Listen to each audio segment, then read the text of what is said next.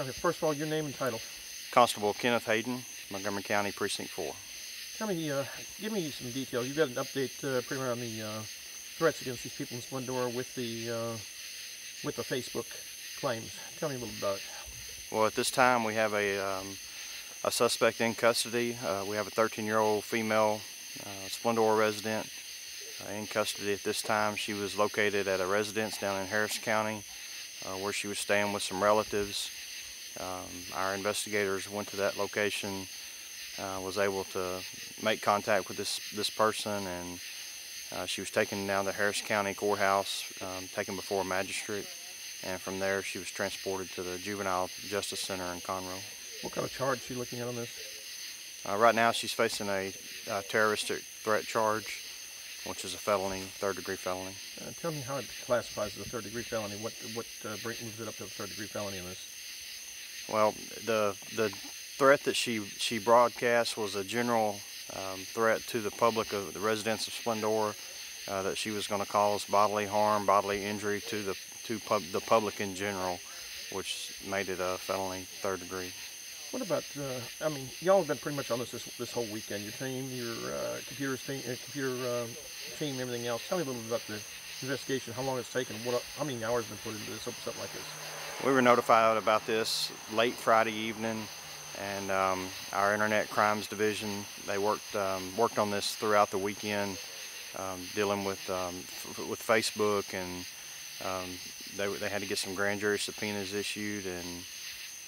Tracking down the suspects, taking the majority of the, their weekend. like I said, this late tonight, they were able to locate a suspect.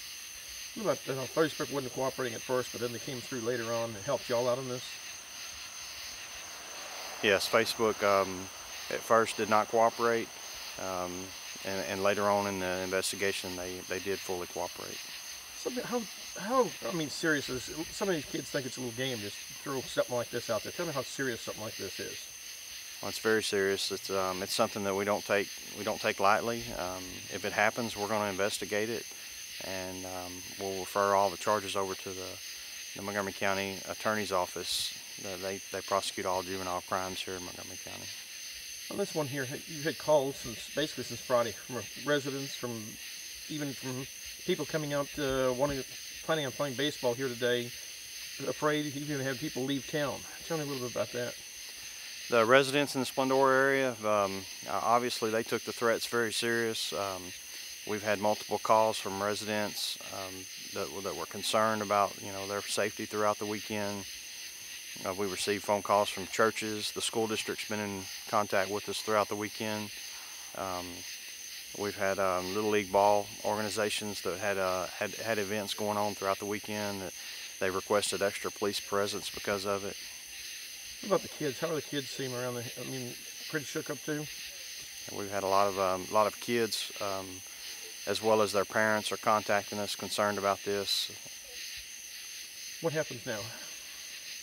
Um, after tonight, we'll um, we'll refer all our charges over to the county attorney's office. We've um, we've had a county attorney prosecutor um, on board with this throughout the weekend, and uh, as well as the district attorney's office, and we will refer all our charges over to them.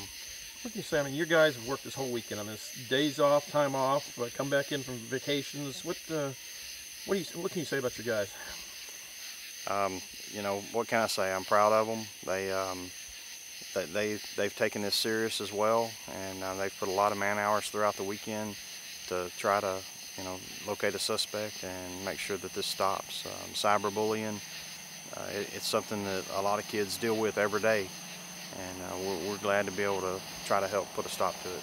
What about the location where they found this 13-year-old? Uh, were they locating computer equipment, and what was the status on that? They did locate some um, electronic computer equipment, which was seized at that time. Okay. All right.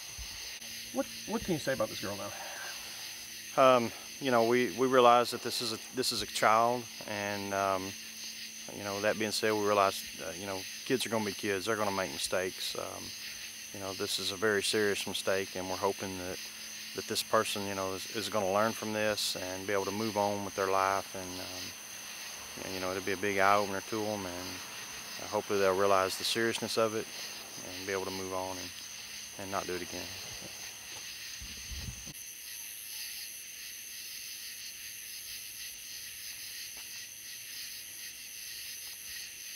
Got it.